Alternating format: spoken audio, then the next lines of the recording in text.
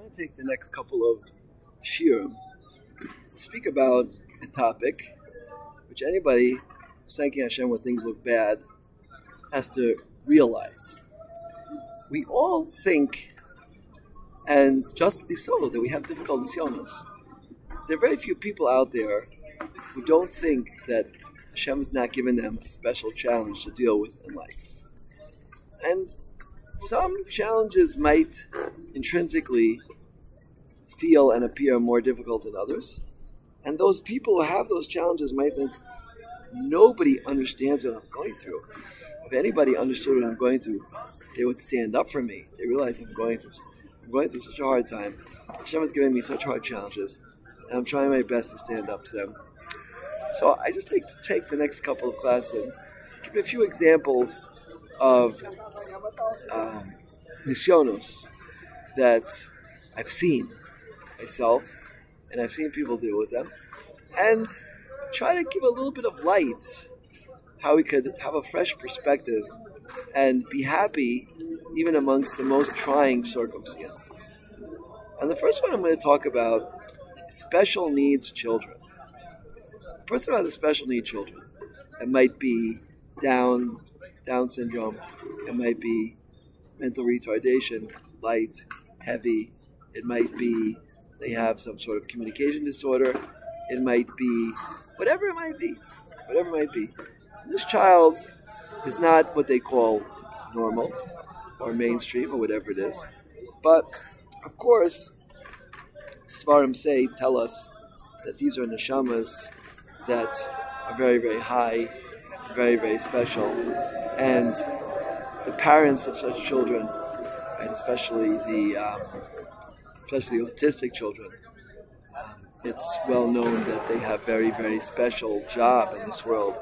These children to fix things up, and the I believe, if we could, if I could say so, that the technique, that the methodology that one can use in order not to get depressed, not to feel down, not to feel frustrated, all of these feelings which are extremely negative to our service of HaKadosh Baruch Hu and, our divine service.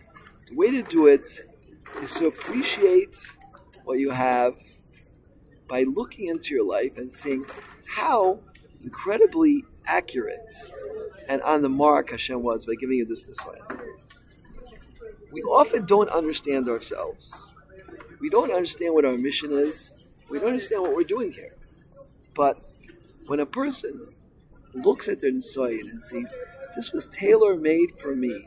Hashem wants me to work on something in my personality. Maybe it's patience. Maybe it's sensitivity. Maybe it's um, acceptance, faith, bitachon, whatever it might be. When we look into ourselves and we see that this is tailor made for us, tailor made nisayon just for us, in order to um, in order to get a better connection with ourselves and Hashem. And Hashem sent us this test to grow. Then, if we do that, we can hopefully appreciate the wonderful gifts that we can ha- that we have. I have a close talmid. He should be gesund. He's over 90. His name is Shmuel Yellen. He's from Australia. And he had a down child. Um, he was nifter a little over a year ago.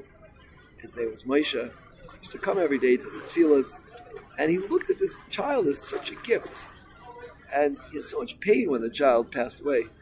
And this is really the right perspective we have to have. Number one, to look at every single child as a gift. And number two, to try to understand why did Hashem give us this gift? If I give you a new car and you need a new car, then you'll appreciate it. You go to work, you go to yeshiva, go to shul, whatever you might be doing with your car. Appreciate it. If you know how to use the gift, or you know what the need is for the gift, then you will use it well. But if you don't know how to use the gift, then you're going to have a hard time with it. So Hashem should help us with our children to understand that each and every one of them is a gift, and this is something which we really, really can appreciate. We think about it, but we have to think about it. And thanking Hashem, my Rebbe, Rav Ari Finkel, the father of Yemen Finkel, he told me once, he said, if you don't think about Birkas HaShachar, you just won't appreciate life that Hashem has given you. Your eyes and your feet and your walking and your clothing you know, and your gender. Um, all of these things that Hashem has given us. You have to be appreciative. Men should be thankful they're men, and women should be thankful they're women. You look around the world today, people are so confused. Be thankful that you're a woman. Yeah. Be thankful for your man that Hashem made you that way. Because that was his choice. Hashem chose to give you such a neshama. And of course, it was very accurate choice. Hashem should help us to appreciate and understand everything we have in mankind.